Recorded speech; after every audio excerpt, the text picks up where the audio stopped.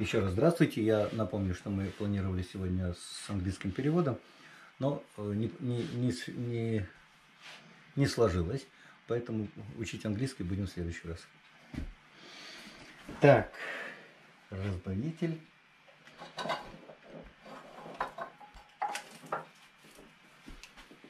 У нас э, довольно однородная в цвете картина, поэтому бояться цвета, я думаю, не об чем.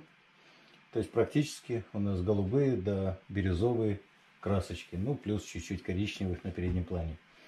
Итак, захватил жидкость, ливанул, взял белило, поддержал эту жидкость, чтобы она не улетучивалась. Она своими парами сразу начинает улетучиваться. А так мы ее прихватили веществом, например, белил. И Поскольку много синего, я взял голубую ФЦ.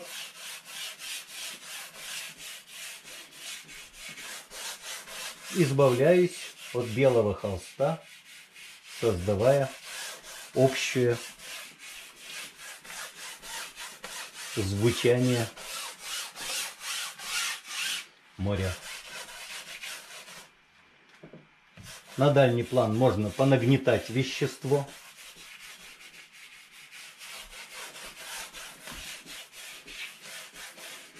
Кисть вы видите строительная, очень удобная для первичной закладки.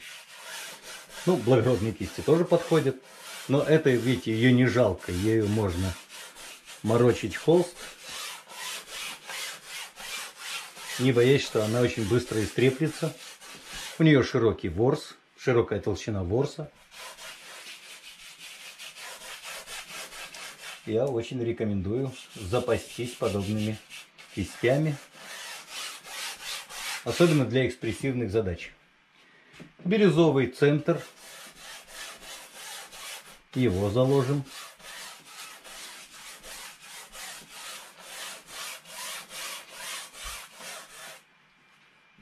Одна треть, которую составляет центр бирюзовый, можно сразу бирюзовеньким перемолоть голубой.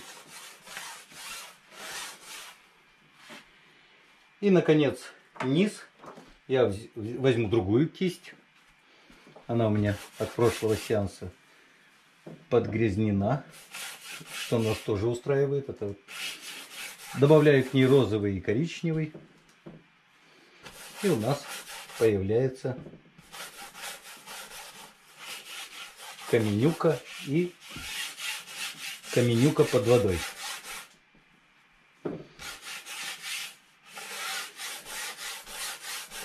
Под водой Каменюка приобрел седой оттенок.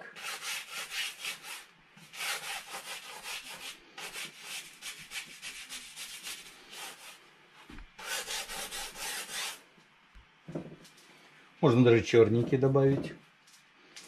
Чуть-чуть. Итак, розовый, коричневый, черный. Здесь больше с разбелом.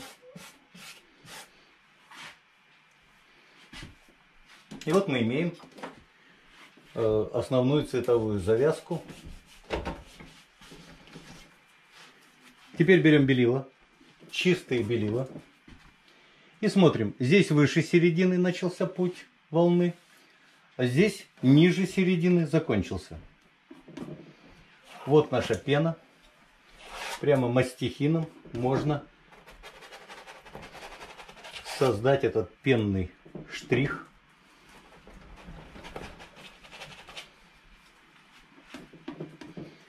Здесь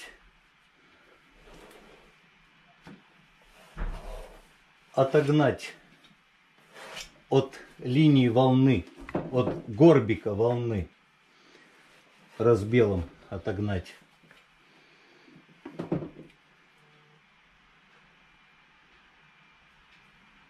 Тут отделить даль от передника и немножечко наметить белилами наметить дальнюю пену, пену дальней волны.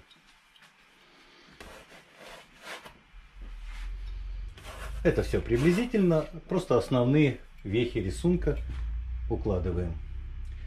Подрезает волну белая пена.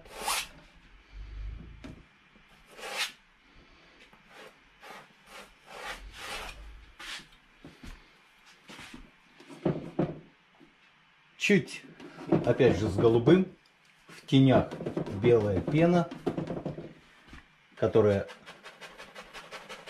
вздыбилась перед, перед горбиком этим, валиком волны. И штрихом таким обозначим ее. Сейчас я дам вам э, эту задачу выполнить. Можно чуть-чуть себе сразу обозначить идею закругления вот этого валика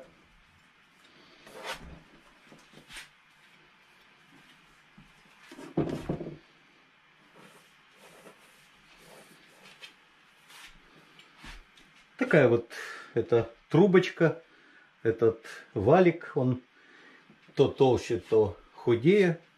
Постарайтесь это заметить. И главное заметить, что здесь волна выше середины, здесь заканчивается ниже середины. Это чуть близко к середине упирается в этой части формата. Ну, можно еще и камень подрезать уже, чтобы максимум э, обозначенностей произошли.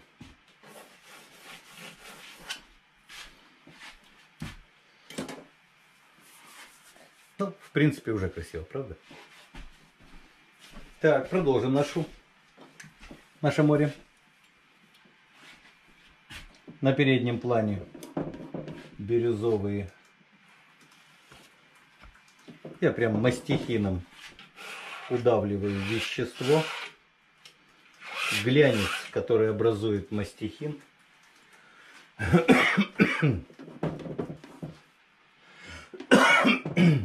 Глянец, который образует мастихин, выглядит как толща воды.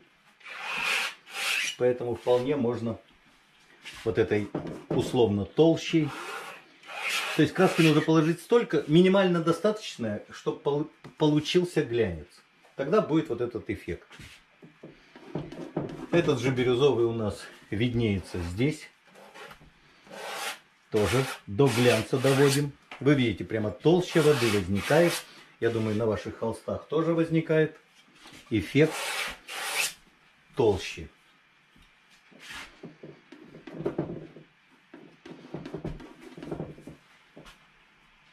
Ой, ничего, мне приходится так головой крутить.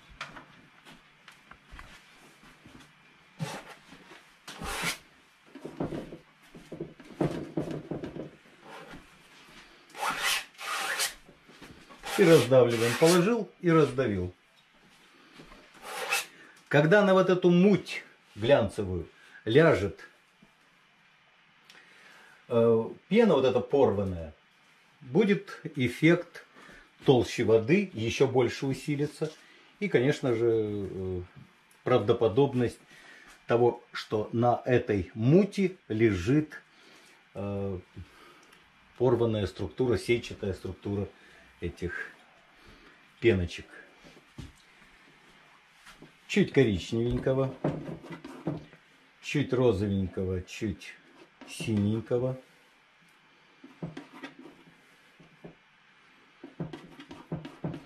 И вот это место тоже наполним мутным содержанием.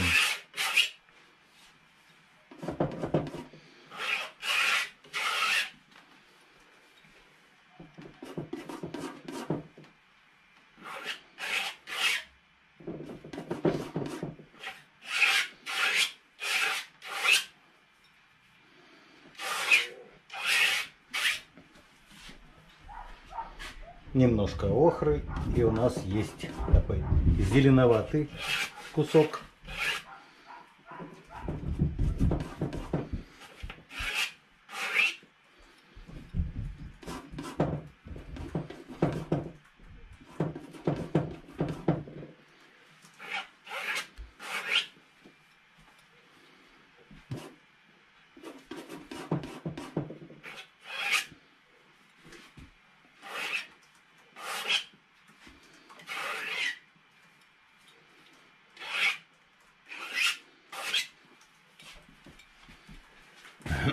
Белилами снова можно отсечь вот эту площадку, освещенную солнцем.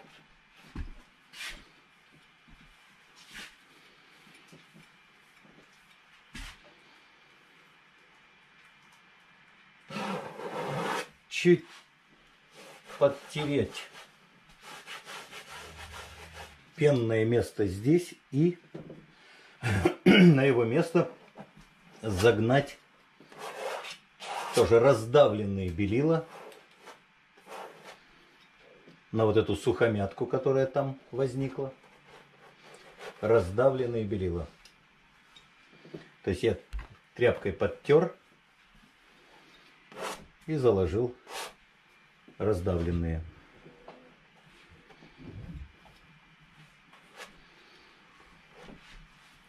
У нас образовалось слегка теневое место пены и световые места.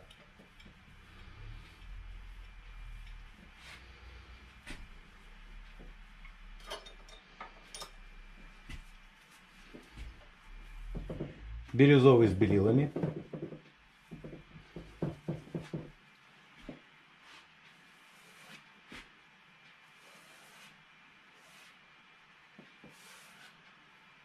А, обратите внимание, что вот это идет как загиб ковра. То есть отсюда туда, как загиб ковра. Вот этот загиб формируем. Можно формировать мастихином, можно кистью. А, мне кажется, что выгоднее кистью. Дальше идут подбеленные, подбеленный голубой.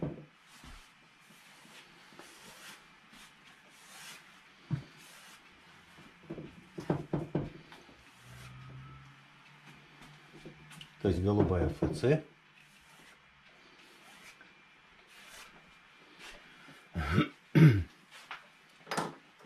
И, наконец, совсем дальше.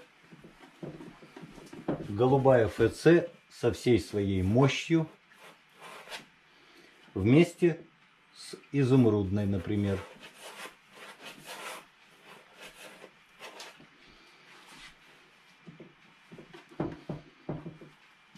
И здесь с изумрудной.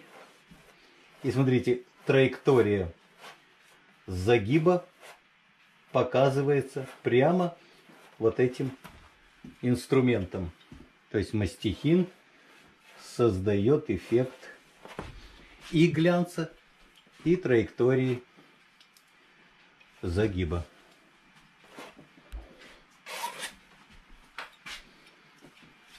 Дальше вот эту полосу тоже можно удавить до глянцевого состояния.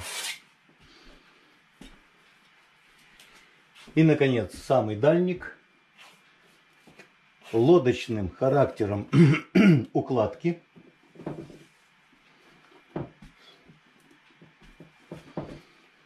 Вот таким лодочным. За счет густоты краски создадим эффект множества.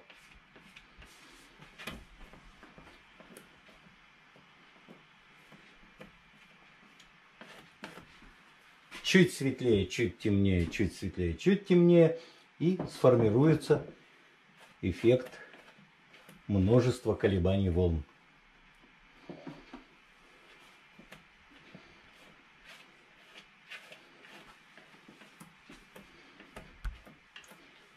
И лодочный характер.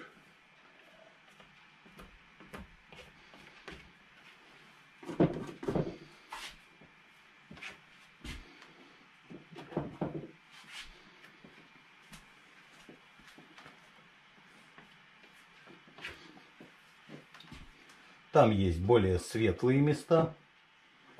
Для них подбелим голубую ФЦ.